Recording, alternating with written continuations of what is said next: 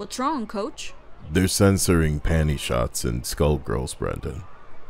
Oh, I didn't know you played fighting games, coach. I don't, Brendan. I I bought the new Street Fighter. I, I saw Cammy's outfit. I'm, get, I'm, I'm getting around to playing it. Oh. Then why do you care? Let me tell you about the culture wars, Brendan.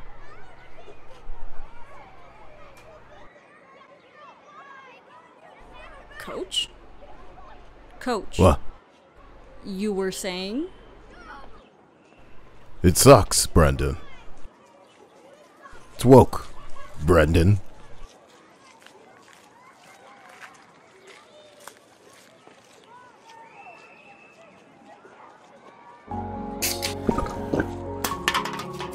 Hello, beta testers. Skullgirls is a fighting game that sold itself on appealing characters. Now, in the hands of new developers, they have retroactively patched the game to change and remove the appeal that was the very reason that some people even invested.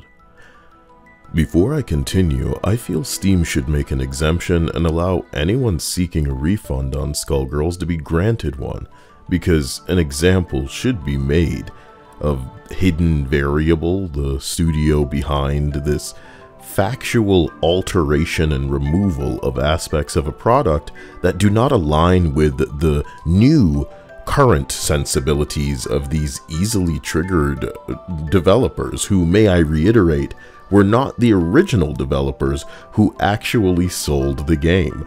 The act of selling one thing and changing it to another was something I rallied against when I saw it back in Broken and Greedy games in the past, and it's something I feel most should stand against here. In the Steam reviews, I've selected two comments, one negative and one positive, that I feel summarize the sentiment surrounding this outrage. The negative comment very simply reads, ESG update just dropped, a recognition of another unsatisfying trend in gaming.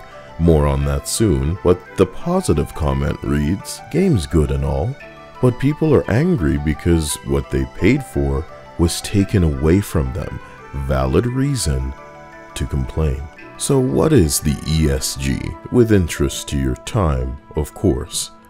The three seconds or less answer is Saints Row Reboot. Games are censoring themselves to appeal to the ESG by removing things including but not limited to any of the grit, any of the edge, uh, things as simple as flirting, uh, attractive women, women who can be scantily clad like their male counterparts. One of my least favorite things done to appeal to the ESG is forcing changes in the dialogue when translating to English. I'd say it effectively strips the charm from many characters, but it in fact robs them of character entirely by tiptoeing around the sensibilities of an ethics department that, in some cases, is available and involved from the very earliest stages of crafting these games. I love the phrase removing the dinosaur from Jurassic Park, but the ESG, quite frankly, is who will take an R-rated slasher with blood and tits that you'd love and tries to change it into a PG-13 spooky comedy instead, with, with jokes about student loans, because that's the only thing these new writers have experience with. I gotta force in diversity so that it looks like a deceptive college brochure. Necessary wheelchair in there. Got just like an Asian guy on the side, like, man, uh, somehow I'm here. You know what I mean? I could be, I could be doing way better. I think the Asian is too good for this college. Safe, sanitized, cringe. Shit icing for a bad writing cake. And we're told if we don't like it, then we must be bigots. Why else would we not immediately want to fund and fall head over heels in love for these mandatory ugly women? Who must be covered head to toe, otherwise it's sexist. But it's okay, because they come in two styles. Boyish style, and the I hope you didn't have lunch style.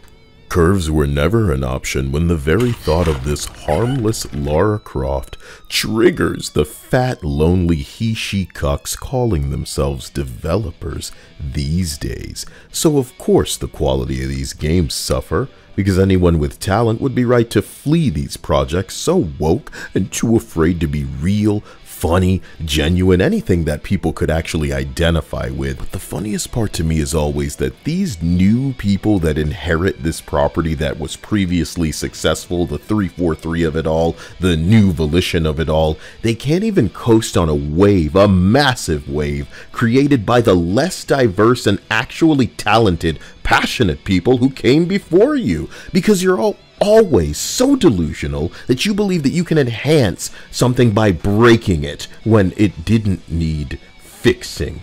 Of course, you try to conceal your degeneracy. You're sandwiching the removal of content with other changes claiming racial sensitivity and avoiding hate group symbol. Oh, we don't want to sexualize stuff, right? So anybody who has a problem with it must just be blank because that argument worked out real well for Hogwarts Legacy boycotters, right? I guess since I loved Hogwarts, I just must be, oh man, you might you might as well tattoo that transphro brand right on my wrist. And give me my black and white striped cisgender pajamas so I can submit to the gas chamber, the echo chamber that you pussies inhabit. You've got us hetero niggas fucked up. We don't speak, but you're Bud Lighting yourselves, nigga. And it's gonna be real late by the time you find out you out of a fucking paycheck. Makes sense, nigga. We do not care how many pubes that you can cough up every hour. And people defending the change of what people have paid for. This censorship is posthumous because hidden variable has killed and i congratulate you know bro i congratulate you man this is all anybody knows y'all for y'all inherited this game and this is what you've chosen to do you have achieved your goal in aligning with the modern gaming and the non-existent modern audience that are just like loudmouth tumblr descendants on Twitter, and your current game and whatever you make in the future will see genuinely hilarious profits. Beta tester, remember, this boy from Digital Foundry who was so triggered by Stellar Blade's protagonist? I show you these clips to give you insight into the people who are in this industry that don't want people to have choice. They want what they dislike to not exist. because like the, with the camera angles chosen, it just felt like this game seems like a, a game that came out in like 002 in terms of its you know like character design. Okay, pretty women are dated, according to this guy. A bit old and, and not flattering, I don't think, for a modern audience. Wow, for a modern audience. In comparison to something like Forspoken, which has you know, uh, I mean yes, it has a much more realistic looking character designs. Uh, Uh, it's not these hyper proportioned uh, something or another's, but White boy saw a nice ass and said, hyper proportioned something or another's.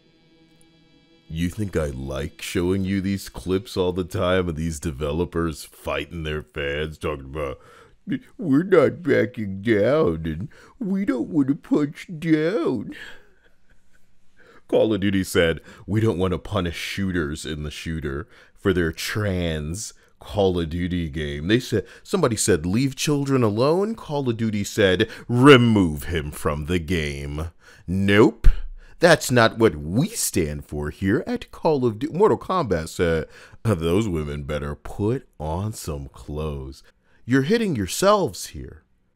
And we have been pretending it's not funny for long enough. Skullgirls developer removed art made for a cancer drive. Removed a bunch of cops beating a black guy with a cop depicted as a literal oink oink pig.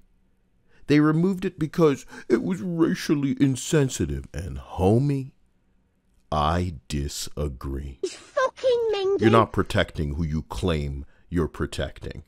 You're censoring art. Depiction does not mean endorsement. Talking about it is not okay and bad guys shouldn't exist because it's triggering to you. Everyone at the concert better snap instead of clapping because, oh, the noise. You are not in the majority. So, do people get a refund for the game that is no longer the game they paid for? Don't mind me. I'm just updating content for modern audiences. See this? This is you happily waving bye to any integrity you had left. Glad I never bought anything from you guys. I'm keeping me money. Had this on my wish list because the art and style looked pretty interesting will no longer even consider buying it due to retroactive censor. You guys had a porn artist design one of your characters, but now you say sexual content is too much? You're not very bright, are you? I guess you guys saw what happened to Forspoken and Fable and figured you wanted to join the race to the bottom? R.I.P. Skullgirls. Your six fans were clutching their pearls for the entirety of the last 11 years. Much appreciated. Joking aside, you guys nearly beat Melee and made it to EVO back when you were unapologetically unique. I guess Bullet dodged.